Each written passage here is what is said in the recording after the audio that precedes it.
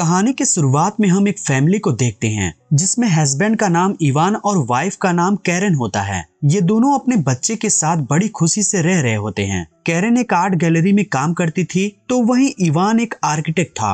एक दिन इवान और कैरन दोनों अपने बच्चे के साथ बीच ट्रिप पर घूमने का प्लान बनाते हैं। लेकिन मेन मौके पर इवान को आर्किटेक्चर का अर्जेंट काम आने की वजह से वो अपने फैमिली के साथ नहीं जा पाता। इसलिए अकेले ही कैरन अपने बच्चों के साथ बीच ट्रिप पर घूमने चली जाती है और इवान अपने डॉग के साथ घर पर ही रह जाता है। रात को जब इवान अपने आर्किटेक्ट का ज़रूरी काम कर रहा होता है तभी उसके घर का बेल बजता है और जब वो दरवाज़ा खोलता है तो उसे दो लड़कियाँ बारिश की वजह से भीगी हुई दिखाई देती हैं, जिनमें से एक का नाम बेला और दूसरी का नाम जेनेसिस था। वो इवान को बताती हैं कि हम लोग पार्टी में जा रहे थे। लेकिन अचानक हम रास्ता भटक गए और बारिश के कारण हमारे फोन्स भी भीग कर बंद हो गए हैं। उनकी ये बात सुनकर इवान उसकी मदद करने के लिए उन्हें अपने घर के अंदर आने के लिए कहता है, जहाँ सबसे पहले वो उन्हें टॉवल्स देता है और साथ ही एक लड़की को आईपैड भी देता है, ताकि वो अपने पार्टी का लोकेशन ढूंढ पाए। वो लड़की आईपैड पर सर्च करके देखती है कि उसकी पार्टी का लोकेशन यहाँ से बहुत दूर है। इसलिए इवान उन दोनों के लिए एक कैब बुक करता है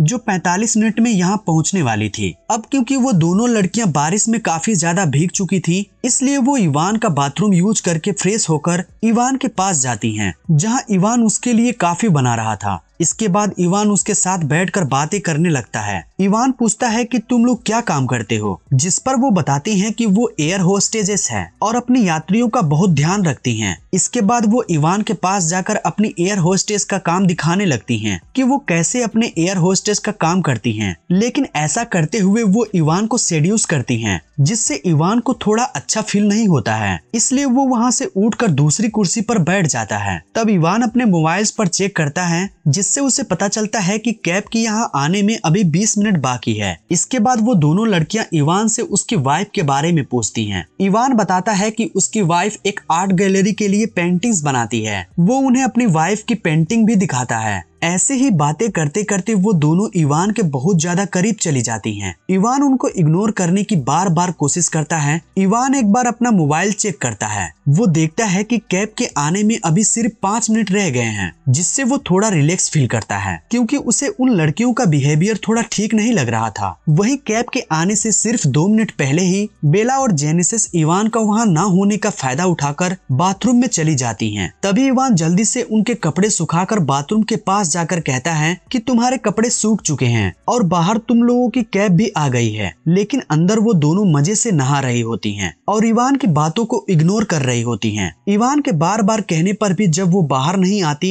तो इवान अपने आँखों पर हाथ रख कर उन्हें कपड़े देने के लिए बाथरूम के अंदर चला जाता है लेकिन अंदर जाकर देखता है कि वो लड़कियाँ न्यूट होकर नहा रही होती हैं। तभी वो दोनों इवान को कहती हैं कि, इवान, तुम भी हमें ज्वाइन करो इतना कहकर वो इवान से चिपकने लग जाती हैं। लेकिन इवान ऐसा नहीं करना चाहता था क्योंकि वो एक शादीशुदा था। इसलिए वो इनको इग्नोर करने की पूरी कोशिश करता है। लेकिन जब वो दोनों इवान के साथ कुछ ज़्यादा ही क्लोज होती हैं, तो इवान भी अपने फीलिंग्स पर काबू नहीं रख पाता और उनके साथ बाथरूम में इंटीमेट होने के बाद बेडरूम में इंटीमेट होता है। वही कैब ड्राइवर कुछ देर तक इंतज़ार करने के बाद वहाँ से चला जाता है। अगली सुबह जब इवान नींद से जागता है तो उन दोनों लड़कियों को वहाँ ना पाकर सोचता है कि शायद वो वहाँ से चली गई हैं। लेकिन तभी किचन से उन्हें हंसने की आवाज़ आती है। किचन में जाते ही वो देखता है कि उन्होंने किचन का काफ़ी बुरा हाल कर दिया है। तभी इवान को कैरन का वीडियो कॉल आता है और उससे बात करने के लिए वो बाहर चला जाता है। अपनी वाइफ से बात करने के बाद वो अंदर आकर वो गुस्से में उन्हें कहता है कि जल्दी से अपने कपड़े पहनो और मेरे घर से दफ़ा हो जाओ। लेकिन कुछ देर बाद वो देखता है कि वो दोनों अपनी वाइफ की आर्ट्स को खराब कर रहे हैं, जिससे अब इवान पूरे गुस्से में उन्हें कहता है कि मैं अब पुलिस को कॉल कर रहा हूँ और अगर तुम्हें जेल जाने से बचना है तो यहाँ से तुरंत चले जाओ। ये सुनकर बेल और जेनेसिस हंसने लगती है। वो कहती है की हम दोनों अंडर एज हैं और तुम कल रात हमारे साथ इंटीमेट हो चुके हो, जो कि कानूनन जुर्म है। इसलिए अगर तुम पुलिस को बुलाओगे तो पुलिस उल्टा तुम्हें ही पकड़कर जेल में डालेगी। ये सुनकर इवान सोचता है कि कल रात उसने कितनी बड़ी गलती कर दी है। तभी दरवाजे पर कोई बेल बजाता है। दरवाज़ा खोलने पर इवान को कैरन की दोस्त विवियन नज़र आती है, जहाँ वो इवान से ये पूछने आई थी कि कहीं उसे किसी चीज़ की ज़रूरत तो नहीं? वहीं इवान उसे देखकर काफ़ी ज़्यादा डर जाता है कि कहीं वो घर पर बेल और जेनेसिस को ना देख ले। उनके बातचीत के दौरान जेनेसिस अचानक बाहर आकर इवान से चिपकने लगती है। ये देखकर विवियन को लगता है कि इवान का उस लड़की के साथ अफेयर चल रहा है, जिससे वो गुस्से में उसे गालियाँ देकर वहाँ से चली जाती है। इवान को उन दोनों पर बहुत ज़्यादा गुस्सा आता है, और इसलिए अब वो पुलिस को सच में कॉल करने लगता है। ये देखकर बेला और जेनेसिस डर जाती हैं, और तुरंत वहाँ से जाने के लिए मान जाती हैं, जिसके बाद इवान उन दोनों को कार में बैठाकर वहाँ से ले जाता है, और कुछ दूर जाकर उनको एक घर के सामने छोड़ देता है। वहाँ से इवान वापस अपने घर आता है और देखता है कि बेल और जेनेसिस उनके घर को काफ़ी गंदा कर दिया था। इसलिए वो पहले अपने घर की सफ़ाई करता है और फिर अपना आर्किटेक्ट का काम करने के लिए बैठ जाता है। तभी उसे अपने घर में कुछ गिरने की आवाज़ सुनाई देती है। वो देखता है कि उसकी फैमिली फ़ोटो नीचे गिरी है। अब जैसे ही वो उस फ़ोटो को उठाने के लिए नीचे झुकता है तो पीछे से जेनेसिस फायर स्टिंग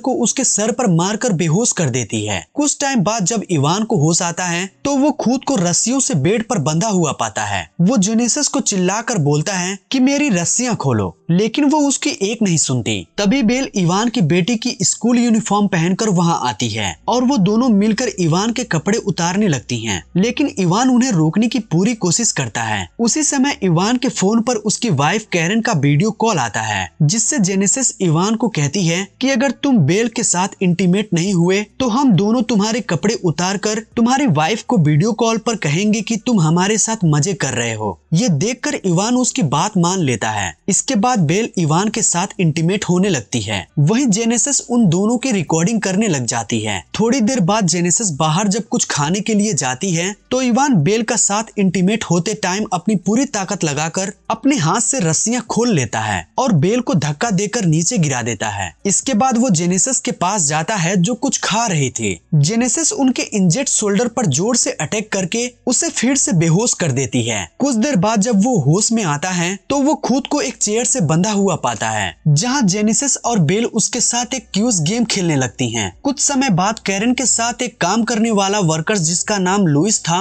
वो कैरन की बनाई हुई मूर्ति को लेने उसके घर आता है ये देखकर जेनेसिस और बेल इवान को एक रूम में छुपा देती हैं। इसके बाद जेनेसिस दरवाज़ा खोलती है और ये दोनों लुइस को बताती हैं कि हम दोनों इवान के कज़न हैं और घर में एक चोर घुस आया था, इसलिए इवान उसे पकड़ने के लिए उसके पीछे गया है तभी लुइस की नज़र कैरन की आर्ट पर पड़ती है जिसका इन दोनों ने बुरा हाल कर दिया था। ये देखकर लुइस को इन पर शक होता है। साथ ही वो उनसे कहता है कि इवान की तो कोई कज़न है ही नहीं। यहाँ पर अचानक लुइस को इवान की चिल्लाने की आवाज़ सुनाई देती है और वो एक रूम में जाकर देखता है कि इवान वहाँ पर बंधा हुआ है। वो तुरंत इवान की रस्सियों को खोलने लग जाता है। वहीं बाहर ये दोनों कैरन की आर्ट को तोड़ने लगती हैं, जो कि बहुत महँगी थी। इसलिए लुइस उनके पास जाकर उन्हें ऐसा करने से रोकता है लेकिन तभी उसे अस्थमा का अटैक आ जाता है। वहीं लुइस का एनहेलर भी जेनेसिस के पास था। वो उनसे अपना इनहेलर्स लेने की कोशिश करता है और इसी बीच उसका पैर लड़खड़ाने की वजह से उसका सर ज़ोर से कैरन के आर्ट से टकरा जाता है। जिससे उसके सर से ब्लड निकलने लगता है और कुछ सेकंड बाद उसकी मौत हो जाती है। लुइस की मौत देखकर जेनेसिस और बेल हंसने लगती हैं, जैसे कि उनको कोई फ़र्क ही नहीं पड़ा हो। उनको हंसता देखकर इवान समझ जाता है कि ये दोनों साइको हैं। इसके बाद जेनेसिस और बेल लुइस की डेड बॉडी पर आर्ट कवर अप करके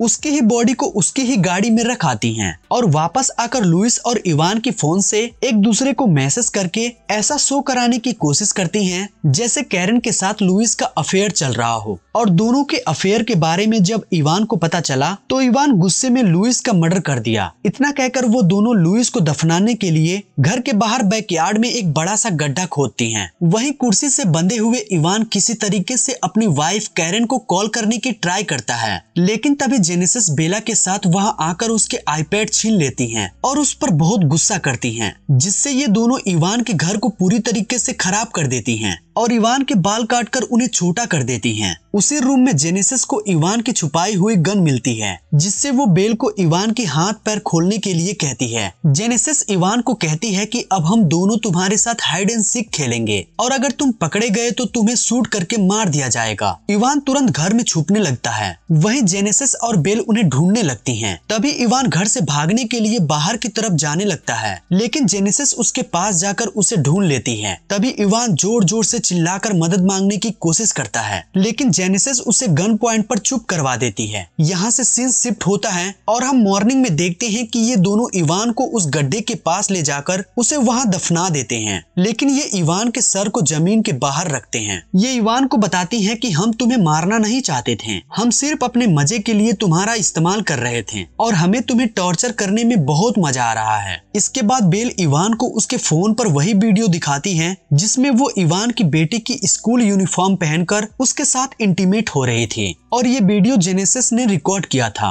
अब इस वीडियो को बेल इवान के फेसबुक प्रोफ़ाइल पर अपलोड करके उस पर लिखती है कि हैप्पी फादर्स डे ताकि सबको लगे कि ये वीडियो खुद इवान ने अपलोड की है। वो दोनों इवान को कहती हैं कि अब हमें नया शिकार करने के लिए जाना है। और वहाँ से चली जाती हैं। वहीं इवान काफ़ी मुश्किल से अपना हाथ बाहर निकालकर उस वीडियो को डिलीट करने की कोशिश करता है, लेकिन गलती से उसे डिलीट की जगह लाइक प्रेस हो जाता है। कुछ घंटों के बाद कैरन जब अपने सभी बच्चों के साथ घर आती है तो घर को तहस नहस हुआ देखकर उसको कुछ समझ में नहीं आता। वो सोचती है की उसके जाने के बाद इवान ने अपने दोस्तों के साथ खूब पार्टी की, और इसी के साथ ये मूवी यही पर समाप्त हो जाती है।